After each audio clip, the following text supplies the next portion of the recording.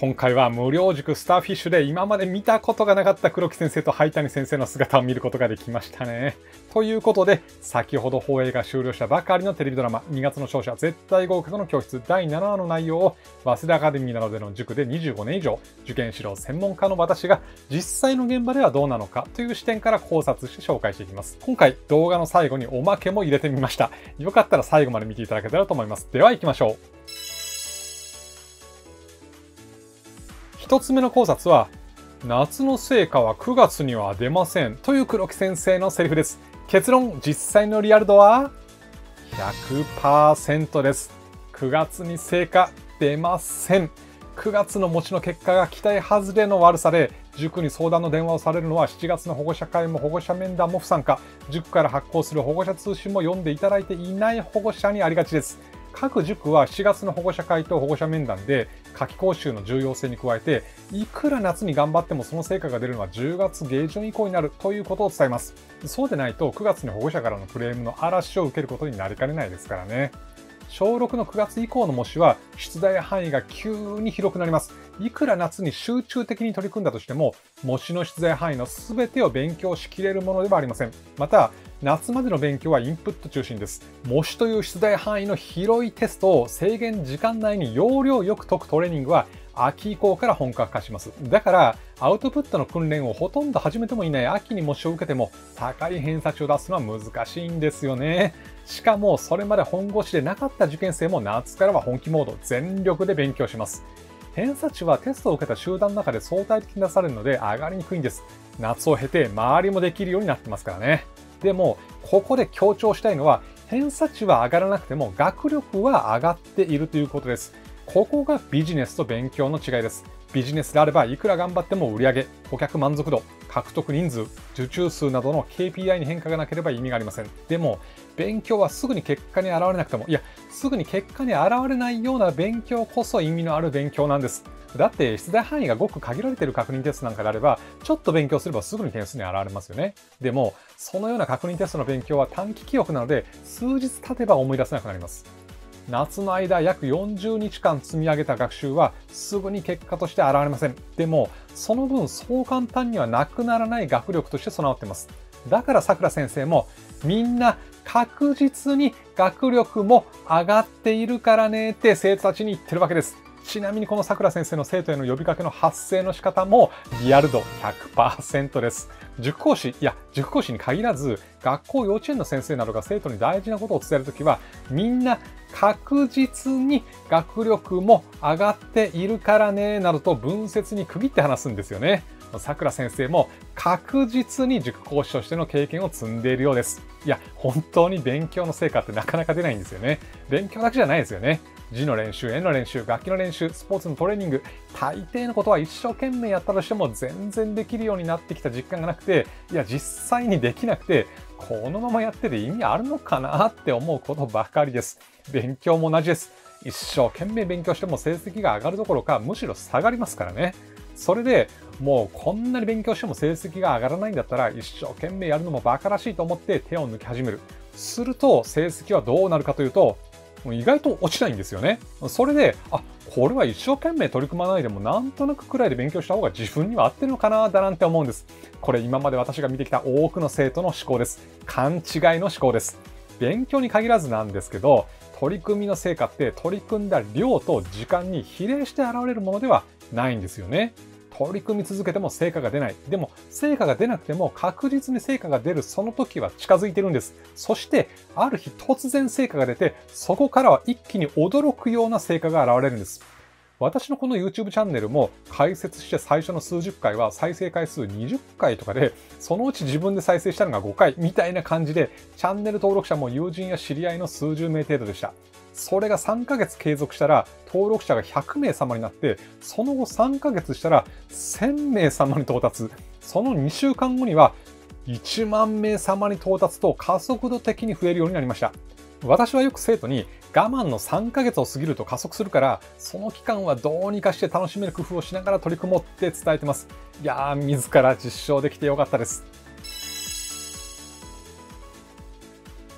2つ目の考察は、夏を過ぎても本気で勉強に取り組まない生徒、石田大良くんのような受験生です。結論、実際のリアル度は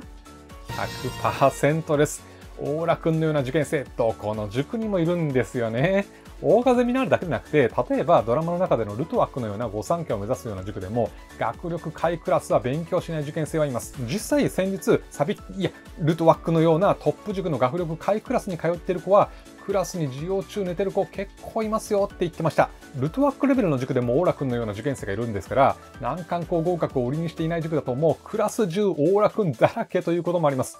でもね、私はオーラ君みたいな生徒好きなんですよね。私の性格的にもオーラ君のような子に好かれる傾向があるように思います。塾を卒業した当時から10年、20年経った今、ふと連絡をくれるのは、大抵当初は勉強好きでも得意でもなかったところからスタートしたオーラ君のような教え子ですね。オーラ君、本当は遊びたいって言ってました。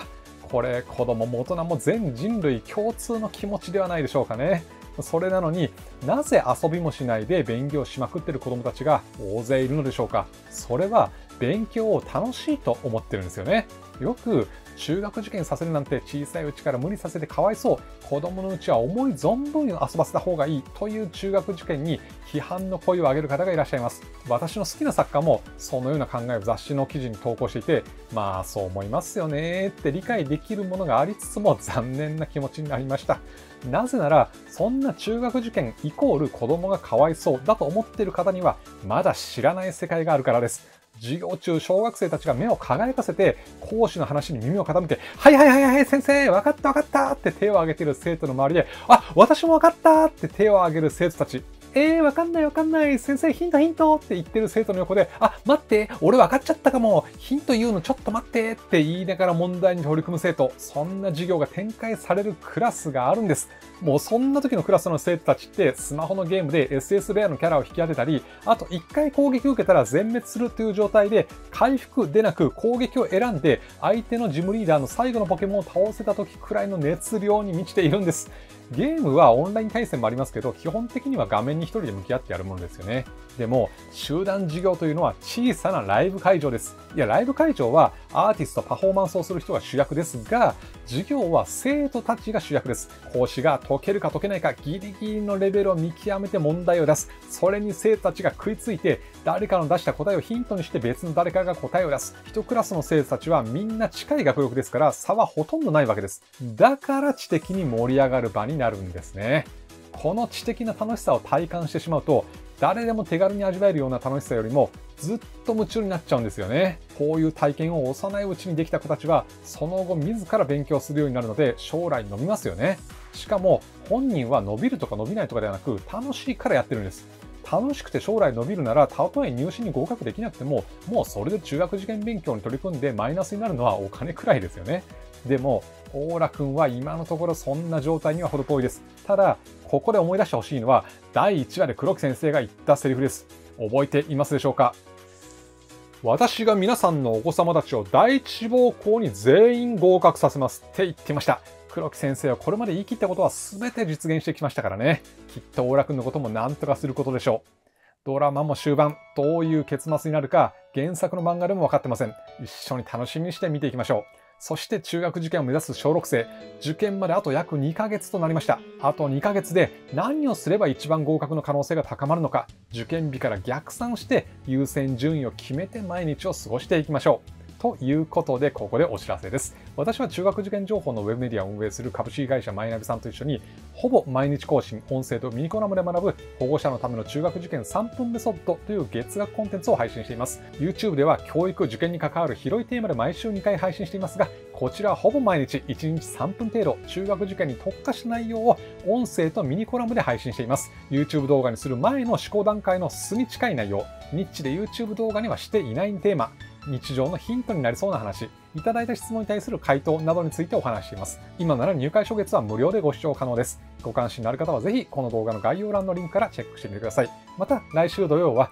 番組放映終了後に考察動画を配信します。最新の配信を見逃したくない方はぜひチャンネル登録をしていただけたらと思います。皆さんの番組の感想もぜひコメント欄で教えてください。ではまた次の動画でお会いしましょう。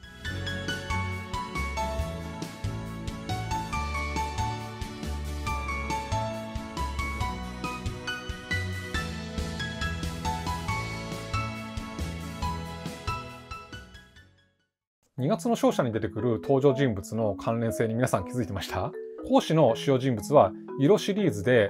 白柳社長に黒木先生に灰谷先生さくら先生は桜色ですよね。大風ミナルの講師たちも桜花の植物つながりで桂立花栗松梅木森ですよね。生徒たちの名前の関連性は戦国武将好きならすぐ気づいたんじゃないでしょうかね。前田カレンに島津淳上杉海斗直江樹里柴田丸美ですからね市川ぼたんちゃんが演じる浅井ゆかりちゃんは戦国武将好きだと浅井ではなく浅井と読みたくなりますかね。ちなみに石田オーラ君は石田三成から来てますよね、これ。石田三成といえば三軒の茶のエピソードが有名です。三成が子供の頃、たまたま休憩に訪れた羽柴秀吉に茶を振る舞います。三成は暑さで汗をかいた秀吉を見て、ぬるめの茶を大きな茶碗いっぱいに入れて出すんですね。秀吉がおかわりすると、一杯目より少し厚めの茶を茶碗に半分ほど入れて出して、秀吉がさらにもう一杯おかわりすると、今度は小さい茶碗に熱い茶を入れて出しました。この三成の気配りを秀吉は気に入って、家臣に召し抱えたと言います。石田三成、幼いうちからできる男ですね。大楽君も化けるかもしれません。まあ、今のままでもいいと私は思うんですけどね。じゃあまた次回。